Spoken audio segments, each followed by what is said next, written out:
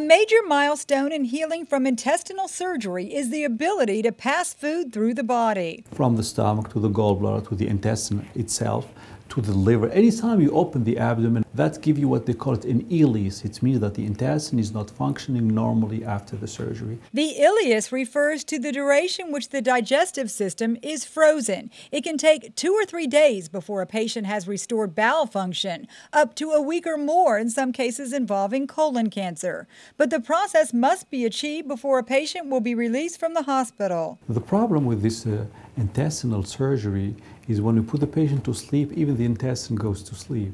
Patient wakes up, but the intestine stays asleep.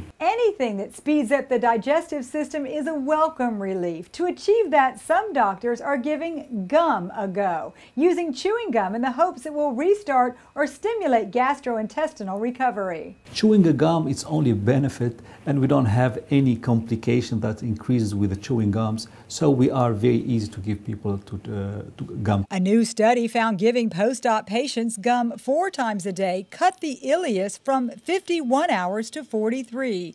In less invasive laparoscopic procedures, downtime may be reduced by 20 hours. So uh, we are trying everything to make sure that the intestine is back to normal function before we send the patient home. Anything to get the digestive juices flowing that's inexpensive and tasty too.